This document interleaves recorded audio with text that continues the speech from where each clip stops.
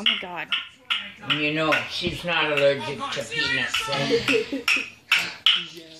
No. She's had peanut butter. Yeah. Actually, Good. you're supposed to introduce them to the peanuts gradually.